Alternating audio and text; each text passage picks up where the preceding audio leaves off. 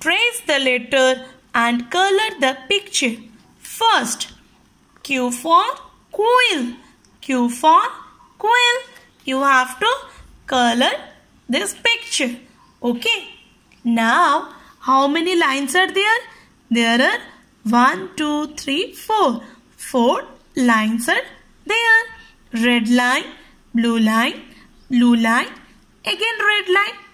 Now, how to trace capital Q? First, you make a circle.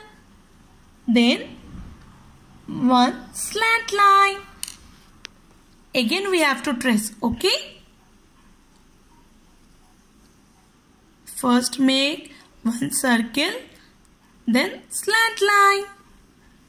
Again, we have to trace circle, slant line.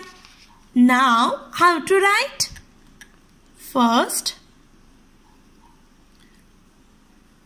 red line to second blue line, one circle, then small slant line.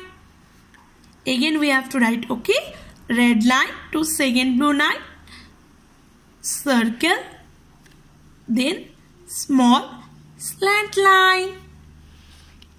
If you have to write like this, I give you bat face.